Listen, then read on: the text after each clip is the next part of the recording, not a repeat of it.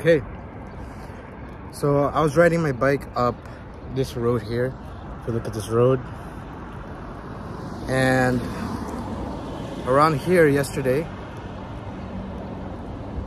I was focused on getting home, and then I felt a, like a, a splash of liquid all over my face on the left side.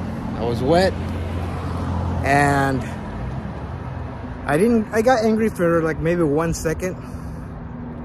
And then, you know, I, I was, my eyes looked at the, what happened is someone was driving by. They slowed down. I noticed in my peripheral vision, they slowed down. And then, and then I just felt, you know, a splash of liquid. So I just looked at the, the car and you know there was like two people in there. I noticed a kid with like you know dreadlocks. And i don't know who who, who threw the this liquid at me. I think it was water. It was a little bit cold. Um, but i got angry for a second and then i didn't think about checking the license plate of this of this car. And so then uh, a truck from behind that car passes next to me and then asks me if I'm okay. And I just went, you know, I'm just focused looking straight ahead, but I looked at them for a bit and I said, I'm okay.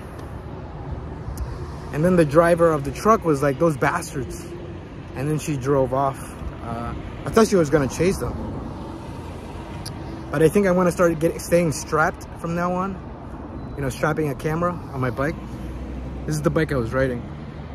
And uh, when it happened, I was like, I was a bit, I was actually kind of a, I felt pity for these, for these guys about, you know, you got to be in a certain place in, in your life or your mind to want to just throw something at someone who you do not know. And, and then I felt kind of bad, you know, I was like, you know, this person's go got something going on in their mind in their life. But it can't be that bad you know? That you you but anyways. And then and then I, and then and then it kind of hit me like wow i'm i could this person could have thrown like anything at me. They could have thrown in a solid object i don't know something that could have really hurt me. So that so then I was grateful that it was just, you know, liquid. I, th I think it was water. It could have been like juice or something. You know, they could have thrown some acid, I don't know what. I didn't have a camera, so like, I don't have any proof, you know, other than, you know, the liquid on my face if I needed to track these guys. And so, then I started thinking like, oh, you know, God's punishing me.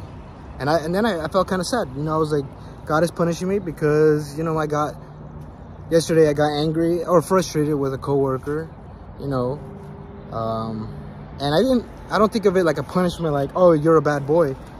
I think more of a, you know, a punishment like, uh, hey, when you get angry at someone or you're frustrated with someone, you know, this, this is what the other person feels. It's like you splashing water at their face while they're going about their day. So um, but uh, yeah, I just wanted to talk about that, you know, when it happens.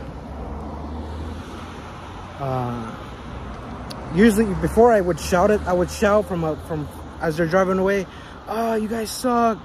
Or, you know, I'd, I'd flick them off or something like that. But uh, I don't know. I'm not, I'm just grateful, you know, just, uh, and but I'm, I'm gonna have a camera from now on you know? I, I I think you know God will take his own vengeance like it says in the Bible. And so that's why I wasn't too upset. Um, you know it could have been worse. Anyways I wanted to do the video here because you know this is where it happened. Heading home heading home from work. Peace